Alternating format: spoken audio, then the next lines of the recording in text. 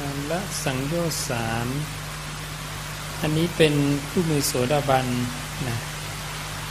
วันนี้ก็มาเริ่มที่หน้า 31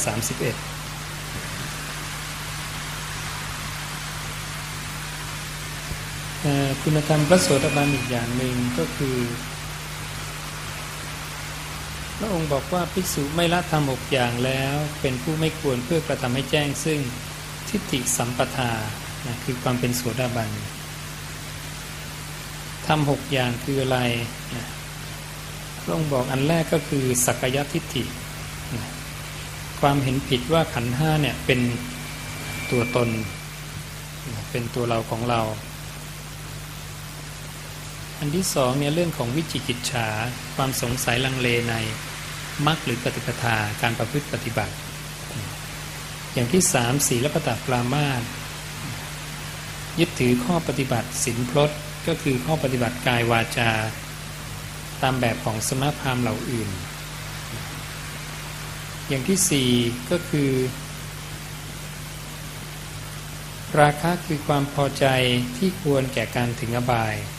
โทสะที่ควรแก่การถึงอบาย โมหะที่ควรแก่การถึงอบายโสดาบันเนี่ยยังมีความโลภโกรธหลงอยู่ ยังมีกิเลสอยู่ แต่กิเลสนั้นเนี่ยไม่หนักพอที่จะพาให้ไปสู่อบายได้ นะอันนั้นอันนี้เป็นคุณธรรมหกอย่างที่พระโสดาบันเนี่ยละได้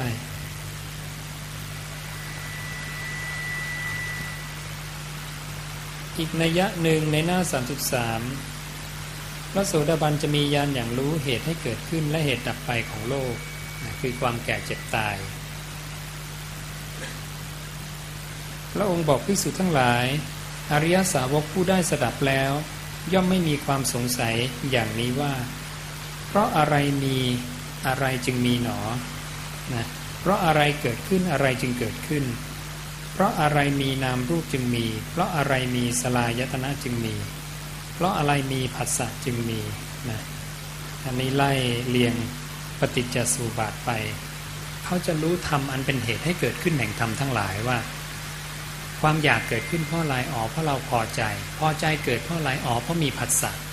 ผัสสะมีเพราะอะไรอ๋อเพราะมีสลายยตนะนะคือมีตาหูจมูกลิ้นกายใจมีรูปเสียงกลิ่นรสอย่างนี้นะ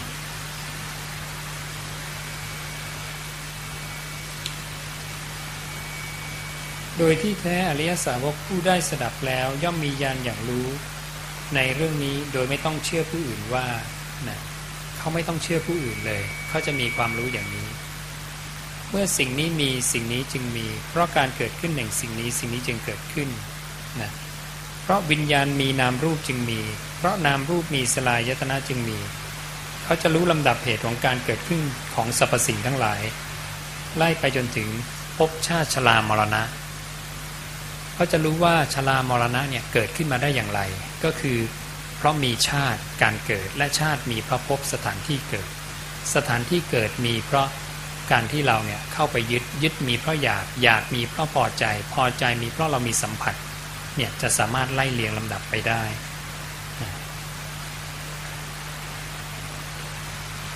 อริยสาวกผู้ได้สดับแล้วย่อมไม่มีความสงสัยอย่างนี้ว่า เพราะอะไรไม่มีอะไรจึงไม่มี เพราะอะไรดับอะไรจึงดับ เขาก็จะรู้ความดับแห่งธรรมทั้งหลาย ความดับแห่งโลก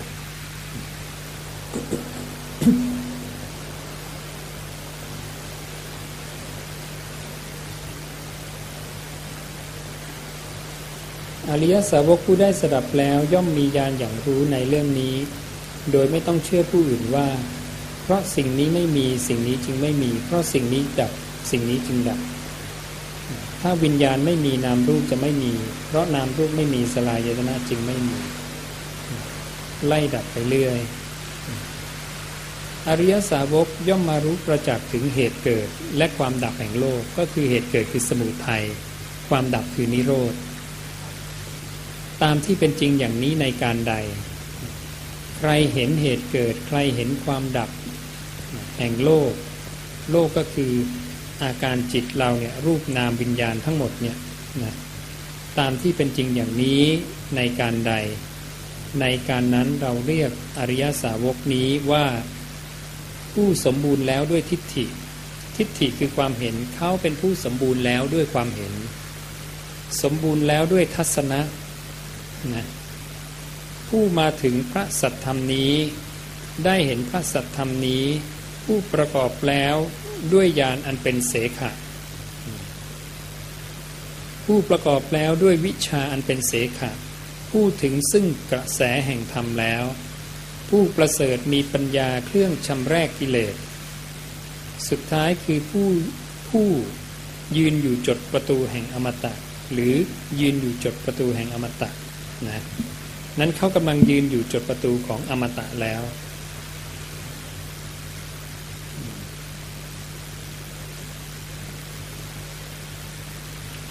นี่ก็เป็นนะคุณธรรมพระโสดาบันนะตั้งแต่หน้า 31นะถึงหน้า 38นะวันนี้ผู้มือโสดาบันก็จบไว้เท่านี้ก่อนนะ